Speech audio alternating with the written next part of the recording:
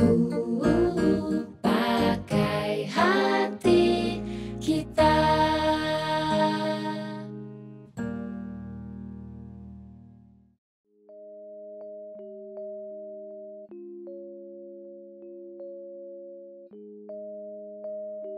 saya Rifan Septiandi, boleh dipanggil Rifandi. Saya dipakai hati kita sebagai General Affair, urusan umum ke saya. Halo, nama saya Rajib Atamimi, biasa dipanggil Rajib.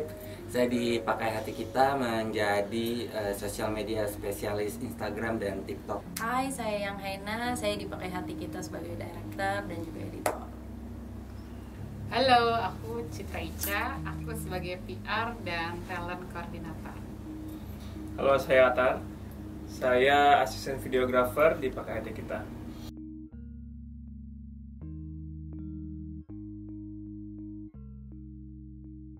Sahabat dulu sih, benar-benar yang ke mana aja ayo gitu. Terus tiba-tiba kayak dia punya teman baru, terus kayak langsung kayak sombong gitu loh. Kayak Menurut kita tuh dia kayak toxic gitu di depan kita. Pada segitu udah sahabatan di depan kita tuh tetap baik, tapi ternyata di belakang kita dengar dari teman yang lain kok dia ngomongin kita juga gitu. Dan itu tuh kayak aneh aja. Karena emang aktivitasnya dia udah udah masuk ke ranah kriminalitas juga gitu.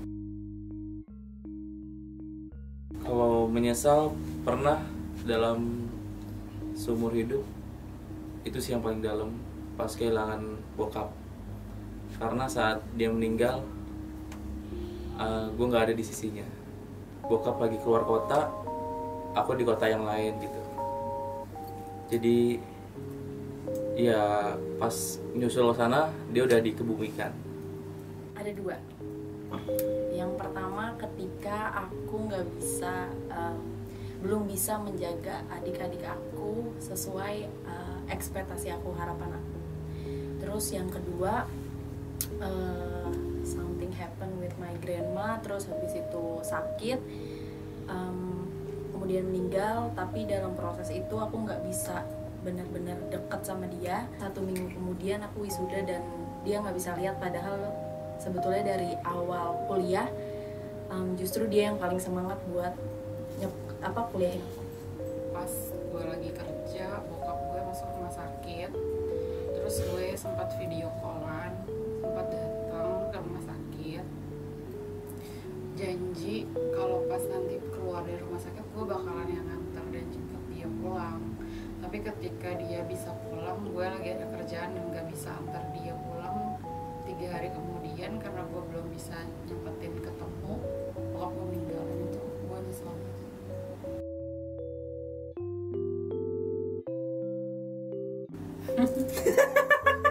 Sering. My God!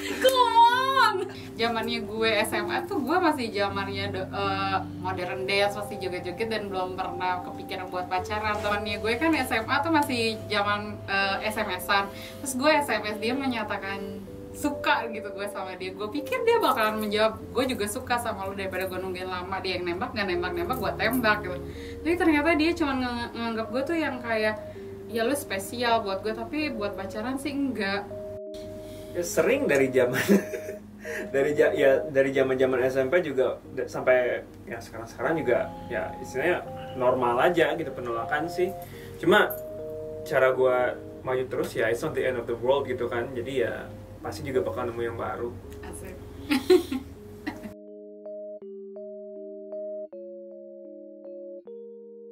waktu SMA ya zaman itu ongkos kurang ya 20 cuma 20 ribu ya habis itu ke adik kelas kayak malah malak. Kayak langsung gitu kan kayak langsung to the point aja kayak gue lapar terus gue eh, mau minum nggak mau tahu pokoknya lo harus kasih ke gue akhirnya dia malak lagi adik kelasnya baru setoran. Itu sih. Yang penting kan gue dapat makan minum. SMP SMP tuh pernah dibully. Kayak SMP kan namanya juga masih SMP gitu kan Eh, sama kakak kelas tuh inget banget dulu kelas 7 kelas 1 SMP itu eh, kayak ya kan gue kan kayak gitu-gitu kan jalannya kan. Gitu deh jalannya terus suka dari bisa kali bisa kali. Gitu. apa ya kayak waktu itu kayak bercanda-bercandaan pada zaman itu tuh kayak bisa Iya, kali iya, iya. gitu-gitu. Kalau zaman SMA tuh ngebulinya paling kayak yang ah, kayak ada cewek terus giginya ompong gitu kan. Nah gue tuh suka kayak eh ompong mau ke mana lo gitu selalu kayak gitu. Malah malah anaknya baik sih tapi kan ini juga zaman sekolah kan ya, hal yang wajar lah kayak gitu. Iya, bercanda-canda bercanda-canda. Jadi waktu kecil ada em, saudara ngomong ke aku umur masih masih kelas 3 4 SD deh kayaknya. Eh, ngomong kayak gini "Eh, kamu itu apa eh, kamu itu nggak akan jauh dari nyokap. Terus yang kedua ini paling sering banget tapi nggak pernah diambil hati sih kayak orang Korea tapi kok looknya nggak kayak orang Korea. Terus nggak nggak full Korean uh, bahasanya kayak gitu gitu jadi tim nongkrong gue tuh eh, badannya gemuk-gemuk. Jadi kita kalau manggil panggilan sama yang gemuk tuh dut dut dut gitu. Dan untungnya mereka juga karena ngerasa mereka gendut jadi mereka nggak ngerasa dibully. Tapi sebenarnya kan itu terbully gitu. Terus gue juga sering dibully hmm, karena badan gue paling gendut di antara tongkrongan gue yang satu lagi. Dan karena badannya pada cungkring gue dipanggilnya bison. Dibully pernah kelas 7 kelas 8 itu karena mungkin ngomongnya campur bahasa Inggris jadi dibilangnya gaje gitu kan gaje-gaje terus. Nah kelas 8 tuh pernah dibully sampai kayak digaplok di depan Depan. kelas tanpa penyebab gitu tanpa penyebab. Dan pernah juga pas kelas 7 itu lagi sakit abis DB kan waktu itu. Pernah ada yang bilang wah kalau kamu kayak gini mah mending dirawat di rumah sakit lagi aja. Sampai sekarang masih inget kalau ngebully juga pernah. Waktu itu ada teman sekampus kan istilahnya hobi hobi ini apa dia scrolling scrolling nggak jelas gitu di komputernya pas lagi tengah eh, lecture lecture itu apa sih? Seminar gitulah. Ya aku rekam rekamin aja. Ke teman sendiri juga pernah sih karena dia karena fisiknya juga. Waktu itu pas SMA ngaco sih dulu. Cuma eh, udah nyadar juga bahwa itu toxic jadi udah berhenti.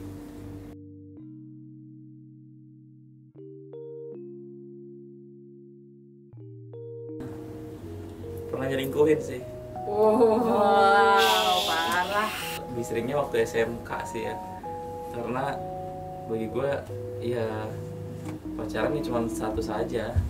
Kayak banyak orang biar nggak biar rame. Bervariasi ya? Iya. Oh maaf ya. Aduh udah lupa Mas Broto. Minta maaf.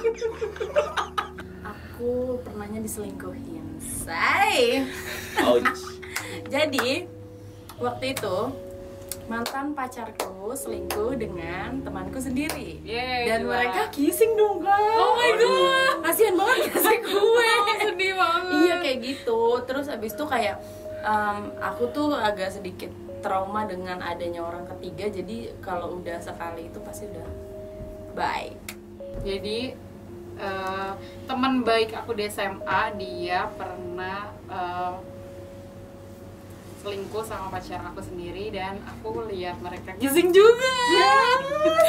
Sedih ya itu rasanya sakit banget. Sakitnya tuh bukan karena pacarnya gitu loh. Sedihnya tuh sama temennya. Karena Iya, kayak gue ngerasa temen gue setega itu sama gue demi laki-laki doang dia bisa berbuat kayak gitu dari zaman SMA kalau bokap gue punya duit, bokap gue tuh naruh duitnya selalu gue tahu tempatnya di mana. Jadi kalau misalnya nyokap gue ngasih jatah harian buat sekolah, anggap misalnya 10.000 ribu gitu, kan nggak cukup ya. Jadi gue colong duit bokap gue. Jadi gue bisa eh, nongkrong sama teman-teman gue. Kalau bokap tuh orangnya emang sengaja aja dia juga tahu kita kita tuh semua anak-anaknya suka ngambilin uang di situ. Dia happy aja sih. Itu yang bikin jadi rindu rindu ada duit di situ. Tapi sebetulnya nyol eh, maksudnya nyolongnya tuh bukan karena emang butuh sih. Cuman kayak pengen emang diperhatiin aja. Kayak gitu. Jadi kayak ya begitu aja sih nyolongnya. Gue pernah juga sih nyolong duit nyokap. Tapi itu zaman SD karena kan tahu kan dia tuh kalau nyimpen duit pasti di lemari tuh waktu SD dan kalau ngambil tuh lima puluh ribu itu kan lima puluh ribu anak SD gede banget kan terus Udah kayak orang kaya. seminggu gila. Iya terus zaman SD tuh kan karena dulu masih sering ikut nyokap kerja dari Lenteng ke Semanggi Lenteng Semanggi. Nah terus jadi ngambil di rumah 50 terus eh, disimpan nah eh, buat main game game master ada di Semanggi. Kalau aku sih pernah diambil uangnya sama nyokap. Karena keadaannya waktu itu eh, aku ingat banget waktu sunatan.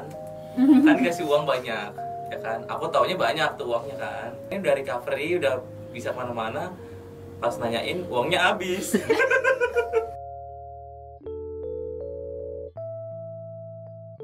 Sering bersama mama papa. Jadi saat dia dipanggil aku ada saat dia dikebumikan. Kalau gua ya pengen punya keluarga yang utuh gitu benar ada di dalam satu rumah ada bapak ada mama ada kakak kakak abang dalam satu rumah. Eh, kan karena udah ditinggalin sama bokap dari TK karena perceraian nyokap bokap tuh jadi kayak eh, nggak ngedapetin didikan dari bokap gitu dari kecil. Karena kan nah, tapi bokap tuh masih sering ketemu gitu masih sering ketemu. Pas dulu masih SD tuh dia masih sering nyamper dan bahkan tuh sampai udah dewasa aja gue tuh masih sering main ke Pamulang ke rumahnya dia gitu kan. Masih sering ngobrol ya walaupun ngobrol cuma ngobrol sekelewat gitu dong tapi ya pengen gitu punya keluarga yang utuh di rumah kayak orang-orang kayak eh, jalan-jalan, bukber segala macem ke sana ke kemari sama keluarga utuh. Itu pengen banget ngeliat kayak satu keluarga dalam satu mobil itu kita ke mana gitu. Itu pengen banget tapi ya udah kan karena udah dewasa juga jadi kayak udah paham dan udah ngerti eh, bahwa keluarga ini ya emang udah begini gitu. Kayak kemarin aja tuh yang kakakku nikahan itu itu itu aku sebenarnya seneng banget. Bokap nyetir aku di samping terus nyokap ada kakakku itu kayak ya Allah gue ngerasain juga. Itu pertama kali walaupun walaupun nggak ada abang di dalam gitu kan. Aku mau nyampein buat mama sama adik-adik sih. Walaupun kelihatannya aku tuh cuek cuek cuek banget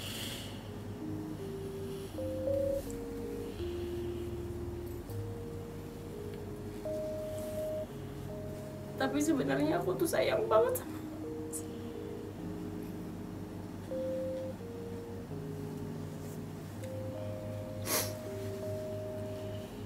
Hmm, sayang banget sama mama sama adik-adik. Karena aku sekarang em, hidup kerja semangatnya cuma karena kalian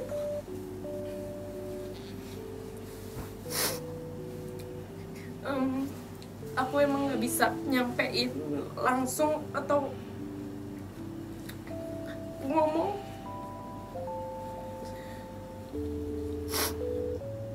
Tapi aku punya semangat hidup karena kalian sih. Mama aku dari kita kecil udah divorce. Tapi papa masih suka nginep di rumah kita tuh nggak pernah ngerasain kayak dari aku eh, mulai masuk SMP kita udah nggak pernah ngerasain kayak keluarga utuh lagi. Terus mama aku tuh punya harapan yang tinggi sama aku. Sampai aku mau mengambil keputusan untuk menikah muda pun mama aku sebenarnya tidak mengizinkan. Tapi aku yang ngeyel yang udahlah mau nikah aja gitu. Mama aku tuh pengennya aku lihat mama nih mama dulu jadi tolong punggung keluarga kamu coba untuk kerja kerja dulu aja nikah di umur yang pas gitu. Ketika nanti udah settle udah apa kamu mau nikah terserah. Tapi aku tetap memutuskan untuk nikah apa segala macam. Jadi mama aku mempunyai harapan yang tinggi ke aku tapi akunya yang kayak nggak pernah ngedengerin apa kata mama. Mungkin kalau bisa mengulangi apa yang bisa diulang mungkin aku pengen menjadi citra yang sekarang tapi mungkin versi yang lebih baik. Dengerin apa kata orang tua.